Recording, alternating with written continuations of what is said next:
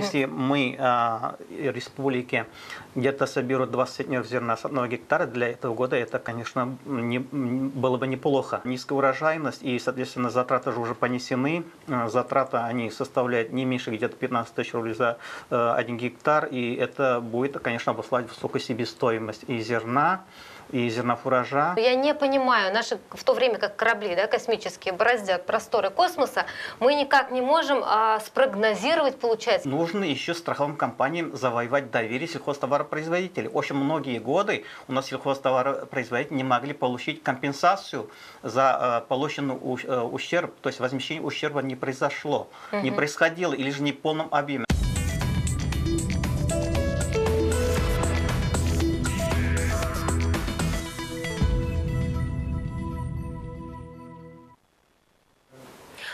Уборочная компания, тема программы «Главные новости» в студии Лейсан Абдулина. Здравствуйте! А как обычно в нашей программе мы призываем принять активное участие наших телезрителей. Напомню, номера телефонов 8 800 532 55 и также 511 99 66. А также вы можете принять участие в голосовании, в вопросе, который мы традиционно проводим в нашей группе ВКонтакте, телеканал Татарстан 24. Пройти можете через специальный QR-код, который видите на своих экранах. Так что звоните, проходите, голосуйте и, конечно же, задавайте свои вопросы, оставляйте свое мнение и комментарии. А в гостях у нас Сегодня Эльгизар Гайнудинов, доцент кафедры организации сельскохозяйственного производства Казанского государственного аграрного университета и заслуженный работник сельского хозяйства, между прочим, Республики Татарстан. Эльгизар Гальмадинович, здравствуйте. Здравствуйте. А для иллюстрации сегодняшнего дня, сегодняшней темы, я предлагаю начать сюжет. Дело в том, что действительно в Татарстане уже недели идет уборочная страда. Специалисты встревожены. Из-за аномальной жары урожайность этого сезона может быть вдвое меньше прошлогоднего. А в 38 из 43 районов республики объявлен режим чрезвычайной ситуации. Альметьевский район в их числе. О том, как идет там сейчас работа на полях, давайте посмотрим вместе в сюжете. Не домолачивает как будто. Первыми в Альметьевске к покосу приступили аграрии хозяйства имени Токарликова. На их полях созрела озимая пшеница. Уборке в этом году мешает жара. В прошлом комбайнеры предприятия собрали с гектара 30 центнеров. В 2021 урожайность упала. Меньше 20 центнеров с гектара. Мы рассчитывали на более солидный урожай. Но теперь сегодня задача стоит убрать то, что выросло, над урожаем уже невозможно работать, поэтому задача в кратчайшие сроки, без, э, с минимальным или без потерь убрать. Аномальная жара десятилетней давности научила земледельцев делать запасы на зиму, пока ситуация под контролем. Но президент республики Рустам Миниханов объявил режим чрезвычайной ситуации. Наши сельхозпредприятия могут выходить э, на банки, у кого есть кредиты, у кого есть э, лизинговые договора. Будем работать над тем, чтобы отсрочить платежи. А, те хозяйства, которые а, застраховали свои посевы, а, будет поддержка ну, со стороны страховых компаний. Зерно пойдет на откорм скота. Альметьевский район делает ставку на молочное животноводство, а не на мясное. Поэтому на экспорт в другие регионы страны идет именно молоко. Затруднения могут почувствовать не только местные производители. Нехватку сырья могут ощутить в не такой уж далекой Пензе. Уходит в Пензу, там, как мы знаем, кондитерская отрасль очень развита, и сухую сыворотку приобретают с нашего молкомбината. То те предприятия, у кого дела идут хуже, могут договориться с соседями о помощи. В районе такие договоренности уже есть. Но, как говорят в токарликовском хозяйстве, помощь не понадобится. И есть свои запасы. А свежий урожай перед хранением надо подсушить. Влажность на сегодняшний момент где-то 18,5%. Но эта влажность для нас приемлема, потому что у нас есть э, зерносушилка. В этом году в уборочной кампании будут участвовать больше сотни комбайнов. Параллельно с полевыми работами идет заготовка кормовой базы, чтобы бычки, коровы и телята смогли пережить зиму. Заготовлено уже больше 30 кормовых единиц. Тимур Туманов, новости Татарстана. На самом деле очень приятные картинки, да, вот и новую технику приятно видеть. Но давайте ситуацию разберем поподробнее. А вот если сейчас с сегодняшней позиции только началась кампания, но тем не менее, а каковы прогнозы на этот урожай? А, действительно, а, у нас результат Татарстан, где-то посев Ярава зерновых культур занимает где-то миллион шестьсот тысяч гектаров. Угу. Из них пока еще убрано где-то 5-6% по оперативным данным Сельхозпродаж Татарстан. Но действительно, как было сказано в этом сюжете, э, аномальные засушливые погодные условия. Апрель, май, э, весенний период, соответственно, в начале лета и сейчас еще продолжается. В многих районах э, вот засуха почвенная, она атмосферной засухой вместе совокупности уже сказывается. Она привела к тому, что ожидаемый урожай значительно, конечно, будет меньше, на сегодняшний день а, по Республике Татарстан, вот по оперативным данным, урожайность э, по убранной площади составляет где-то 19 центнеров. Если мы э, республики где-то соберут 20 центнеров зерна с одного гектара, для этого года это, конечно, не, было бы неплохо. Э, почему неплохо говорю? Потому что у нас для того, чтобы вот этот обеспечить себя достаточным количеством э, зернофуража, э, то есть э, как корм же большая часть зерновых идет, угу. необходимо где-то 3 миллиона тонн зерна заготовить, а где-то еще для хлебопекарных целей где-то 350 тысяч тонн. То есть как минимум 3,5 миллиона тонн необходимо для того, чтобы обеспечить собственные потребности республики. А что вот излишек, она экспортировалась или же вводилась в другие регионы, продавались угу. в другие регионы. Но, а, конечно же, вот а, низкая урожайность и, соответственно, затраты же уже понесены. А, затраты, они составляют не меньше где-то 15 тысяч рублей за один гектар. И это будет, конечно, обусловить высокую себестоимость и зерна, и зернофуража, и, соответственно, основная часть зерна, это зернофуража идет на корм скоту, это, конечно, будет приводить к повышению себестоимости молока. И, соответственно, мы, конечно, говорим, что поддержка аграриев, она необходима, потому что цены-то на материалы растут, и ГСМ тоже, особенно угу. вот в эту пору, надо все же всю площадь надо убрать, и, соответственно, на горюче-смазочный материал очень высокие цены. Так, Ильгизар Гемедевич, вы прямо сейчас э, весь круг проблем э, очертили. Ну, давайте чуть поподробнее ага. на некоторых позициях. Первое. Вы простите меня за дилетантский вопрос, но я не понимаю, наши в то время как корабли да, космические бороздят просторы космоса, мы никак не можем а, спрогнозировать, получается, я сейчас не только про республику, вообще в принципе, да, про сельское хозяйство, а, мы, получается, не можем спрогнозировать эту жару и не можем принять а, какие-то меры. Опять же, система мелиорации. Э, я, конечно, с вами согласен, но э, э, действительно уже вот засушливые условия, они уже начались, 2000, начались с 2010 года. Угу. Есть такой показатель, который называется гидротермическая коэффициент Селянинова. Она для идеальных условий, то есть когда влажность и температурный режим тепло идеальном состоянии, допустим, да, для земледелия, единицу составляет. А после 2010 года этот коэффициент упало 0,7 и меньше. То есть это означает, что у нас климат и изменяется, и, соответственно, угу. мы должны были быть этому готовы. И после 2010 года были рекомендации данные сельхозтоваропроизводителям, чтобы сеять э, яровые зерновые коши больше сорта засухоустойчивые сорта. Угу. Они, конечно, э, ниже дают, э, чем обычные сорта урожая, но тем не менее, все равно для того, чтобы себе застраховать половину там, или каких-то пропорций, необходимо вот этими засухоустойчивыми сортами занимать. Во-вторых, мелиорация, это же зависит от того, насколько сельскохозяйственные предприятия показывают свою активность. Есть у нас достаточно много э, государственных программ. Например, 70-30, то есть, допустим, 70% если затраты несут сами предприятия, 30% угу. значит, э, государство возвращает. Я даже слышал, есть э, отдельная программа, где до 70% можно возмещение получить. Но надо учитывать, у нас традиционно Республика Татарстан в основном орошение производилось на кормовых культурах, то есть многолетние травы, например, кукуруза, например, да, а зерновые культуры у нас мало, где орошаются. Угу. Соответственно, это, по сути дела, идеально невозможно делать, потому что, во-первых, оросительные системы, в общем-то, дорогие, Э, но а, советское время, скажем так, да, 85-е годы, 82-е годы, наверное, и вы помните, я помню, э, большинство полей, основном, где многолетние травы, это основной э, вид корма для животноводства, и сено, и сенаж, и все прочие дают, так другие виды корма. По сути дела, они орошались. На сегодняшний день у нас по сравнению с прошлым годом в 4 раза больше орошается земли, где-то 57 тысяч гектаров. Но учитывая, что у нас площадь многолетних трав 427 тысяч гектаров, угу. я считаю, 4 года мы их используем. Хотя бы одна четвертая часть обязательно должна орошаться. А это 100, 110 тысяч гектаров.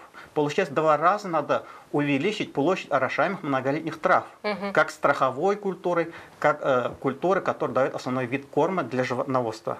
А настолько обеспечена сегодня животновство кормами, от этого зависит и наша продуктивность коров и, соответственно, себестоимость молока и мяса. который мы едим и употребляем, правильно? По поводу продуктивности, но не коров, а я некой смычки э, все-таки теории практики, да, я знаю, что ученые, а, в том числе и вашего университета, принимают активное участие как раз в разработке новых сортов, а, и в том числе, я так понимаю, и пшеницы Да. тоже, да. А это предпринимается, ведутся ли такие разработки, и вообще в своих работах учитываете ли вы тот самый фактор природный, да, климатический? Конечно, своих исследованиях вот сейчас у нас наши ученые, особенно по растениеводству, по земледелию, во-первых, изучают различные способы обработки почвы. После 2010 года у нас в Республике Татарстан была рекомендована почвозащитная система обработки почвы с глубоким рыхлением э, несколько, один раз в несколько лет. И, соответственно, э, оставление стернии. Но вот что у нас изначально проводилось, вот зимой, наверное, вы очень редко можете увидеть снегозадержание. То есть стерня сама за- задерживает снег, так говорить, и, соответственно, это зимний запас влаги. А, И, соответственно, еще мы э, проводили дополнительное снегозадержание. Вот такие приемы. Соответственно, а, при обработке почвы на поверхности почвы должна оставаться мульчирующий слой, который задерживает испарение влаги, которая впитывается осенний, весенний период, допустим, зимними а, осадками, так говорить. Вот и, соответственно, вся эта технология, она изучается и рекомендуется. Необходима стабильность и изучение и внедрение таких технологий в течение пяти лет, хотя бы за одну ротацию силового Вот э, от одной крайности в другую крайность не надо впадать. Потому что год э, на год, как, э, как говорится, не приходится. приходится. Да. Ну, то есть ваши рекомендации после... Вот а, я напомню телезрителям, что объясню, вернее, почему неоднократно с вами тут оперируем, как раз с 2010 годом. Именно тогда была страшная Засуха, засуха, да. да. и были проблемы с урожаем. И не допустить а, повторения этой истории, как раз, получается, ученые тоже на стыке, на страже этого стоят, рекомендации предпринимаются. А, обяз- какие еще, а- да? Обязательно. Я еще хочу добавить, так как я представитель аграрного университета, так Мгм. ведь, как э, у нас говорили раньше, и она э, сейчас актуальна, я считаю, а, кадры решают все. То есть стабильная подготовка кадров, соответственно, обеспеченность отрастливыми специалистами, и агрономами, и зоотехниками, ветеринарными врачами. Да? То есть это комплекс да, все-таки. и организаторов производства. О чем вы меня спрашиваете, почему планово не ведется, почему не прогнозируется, это же кто делает? Это менеджер, организатор производства. То есть раньше был обязательно- экономист-организатор Ага, производства, такой, а сейчас Министерство высшего образования и науки, к сожалению, нашло, что непрофильная подготовка бухгалтеров-экономистов. И 10 лет нас, нам не выделяет, к сожалению, бюджетные места. Я считаю, это грубая и глубокая ошибка. Я сейчас, кажется, действительно за больной вас задел, но давайте Да. вернемся к тому, что волнует действительно каждую семью. А, опять же, когда мы говорим с вами о ценах на хлеб, а, многие могут даже, наверное, не подозревать, но на самом деле мы сейчас говорим о продовольственной безопасности нашей республики, да, и Поясните, пожалуйста, вот а, еще раз на пальцах буквально, почему, а, если вдруг подорожает, допустим, зерно, это может сказаться и на всей корзине? А, Во-первых, зерно у нас э, является основой для э, мукомольной промышленности, так ведь. А Мгм. из муки делается все то, что мы употребляем и покупаем в магазинах. Мгм. То есть кондитерские изделия и так далее, и так далее. И, соответственно, а, первоначальные затраты зависят от себестоимости сырья, который перерабатывается и муку, соответственно, из муки и другие виды Мгм. продукции. Но не стоит забывать, что э, производителем зерна являются сельскохозяйственные товаропроизводители, и фермерские хозяйства, и э, сельхозпредприятия. Да? А там есть еще переработчики, они Мгм. еще свои затраты добавляют, свою рентабельность добавляют, так и плюс еще торгующие организации. Ну вот мой наивный вопрос, почему тогда молоко зависит цена, и, извините, тоже мясо зависит цена, и картошка? Давайте я попробую объяснить Да, так ведь, хорошо. на примере молока. Давайте. На сегодняшний день Республика Татарстан а, молоко сельхозтоваропроизводители а, реализует в лучшем случае 26 рублей за литр. Мгм. Это 3,6% жирностью. В магазинах сколько вы покупаете за сколько? Ну, 2,5% два- два с половиной, жирности? да. Э, Сколько за литр вы покупаете? Это 900 граммов, даже литр Мгм, нет, так ведь? мгм. 55-60 рублей, правильно? Мгм. Если мы переведем то, что э, за какую цену реализует молоко сельхозтоваропроизводитель, 26 рублей, так, на 2,5% жирности, это получается 16-17 рублей за литр. Получается 60 минус 16, сколько остается? Мгм. 44 рубля. Так ведь 44 рубля, 42 рубля – это 70% от конечной цены. То есть 70% оседает у переработчиков и торгующих организаций. Мгм, мгм. Я считаю, в таких условиях, чтобы цены не поднимались, так как это не сельхозтоваропроизводитель в этом виноват. Так. Я вам доказал, наверное, Да, да? Где-то да. Ну, цифры 16-17% красивые, только да, сразу имеет, да. ага. И, соответственно, молоко, молочный продукт – это социально значимые виды продуктов. Вот государство должно ввести регулирование э, торговых наценок. В свое время это Мгм, было. мгм. Потому что мы, пенсионеры, так ведь, э, многодетные семьи, и все остальные городские жители употребляем молоко и молочные продукты. Так как она социально значимый продукт, как и хлеб, вот на хлебопродукты и, соответственно, на молочные продукты, мне кажется, правительство должно ввести вот такие э, регулирующие, э, ограничивающие насынки торгующим организациям, чтобы такого Мгм. роста цен не было. И повторяю, в этом не виноват сельхозтоваропроизводитель. К сожалению, все затраты несет он, а из конечной цены реализации получает мизерную свою долю. А какие еще меры можете назвать для того, чтобы, допустим, а, предотвратить рост возможный? А, Может быть, страхование, я не знаю, урожая производителей? А, Вы правильно э, э, от- отметили, так ведь вот страхование урожая для того, чтобы большинство сельхозтоваропроизводителей страховали свой урожай, конечно, требуется с их стороны активность, потому что 50% страховых взносов компенсируется государством. Мгм. Но и нужно еще страховым компаниям завоевать доверие сельхозтоваропроизводителей. Очень многие годы у нас сельхозтоваропроизводители не могли получить компенсацию за э, полученный э, ущерб, то есть возмещение ущерба не произошло, не происходило или же не в полном объеме, находили разные причины. В этом, конечно, я считаю, виноваты во многом и страховые компании. Мгм. Раз ты деньги собираешь в виде страховых взносов, так ведь засуха она не случается каждый год. Она может случиться, допустим, раз в три года, раз в пять лет.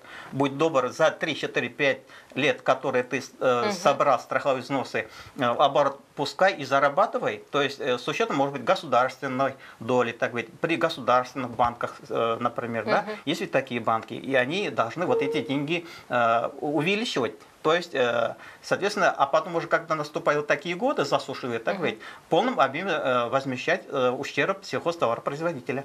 Тогда будет взаимопонимание, считаю.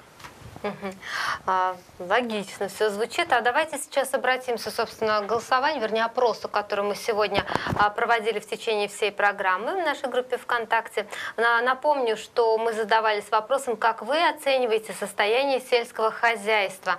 А, Итак, Затруднились с ответом почти 5% наших телезрителей, 6, почти 7%, э, кстати, выбрали ответ «хорошо», оценивают они состояние сельского хозяйства, 18% на среднем уровне, и, обратите внимание, плохо заявляет а, более 70% опрошенных пользователей ВКонтакте. Вы улыбаетесь на эти результаты, почему? Э, Вот, насколько я понимаю, это, это опрос проводится э, где-то 8-9 часов, так ведь? Это Утра, да, утра. да. И это очень, так скажем, активный период работы сельских жителей. Так. И, соответственно, здесь, я так думаю, большинство участия принимали городские жители. Но что хочется сказать, как представители из села, так ведь и из аграрного сообщества, я считаю, все равно надо быть оптимистом. А, В любом случае, я считаю, у нас э, не будет допущена нехватка дефицита продовольствия, продовольствия, потому что и страхование, и другие меры государственной поддержки нам позволят обеспечить э, республику полностью э, свою потребность, по крайней мере, да, э, зерновых продуктах и, соответственно, хлебопродуктах и молочных продуктах. Но в данном случае необходима слаженная совместная работа и практиков, и ученых, и, конечно же, государства, то есть наше правительство. Ну вот сейчас в завершении программы все-таки понятно, еще раз подчеркну, что страда только неделя, как идет, Да, да. собственно. Но тем не менее, вот по вашим наблюдениям, по вашим подсчетам, а, ситуация пока в рамках нормы или, или же уже пора волноваться? Э, К сожалению, здесь надо сказать, что э, счастье заготовки кормов э, не, нельзя успокаиваться, потому что на одну условную голову необходимо 34 средних кормовых единиц. Вот в Альметьевском районе сказали, 3 средних кормовых единиц заготовили. Так, это очень хорошо. Но ситуация пока показывает, что у нас первый укос многолетних трав уже прошел, 203 села средних кормовых единиц, то есть одна треть только заготовлена. Я считаю, в, в этом плане необходимо нашим аграриям усилить э, свое внимание и, соответственно, на под- э, заготовку кормов и соседних регионах, и, соответственно, использовать прошлогодние остатки, чтобы э, без потерь э, выйти э, зимовку и, соответственно, получить достаточное количество животноводческой продукции и обеспечить наших городских жителей молоком, мясом и другими продуктами питания. То есть обеспечить нашу продовольственную безопасность. Э, Вот в этом плане, конечно, немножко надо э, поработать. Э, Впереди, дай бог, еще второй укос многолетних трав тоже получим. У нас еще кукуруза носилась по сену, по зерновой технологии по сену. И дай бог, соответственно, и осадков побольше, да, но локально они проходят, э, но не фронтально. Локально, если фронтально, если были бы такой по республике Татарстан, то бы, в данном да. случае, да, можно было бы. Но успокоиться еще рано. Как говорят, урожай не в поле, а урожай в амбаре. И соплет по осени считают. Спасибо большое. Напомню, у нас в гостях сегодня был Ильгизар Гайнудинов, доцент кафедры организации сельскохозяйственного производства Казанского государственного аграрного университета. Спасибо вам большое. Это была программа «Главные новости» в студии Лейсан Абдулина. Всего вам доброго.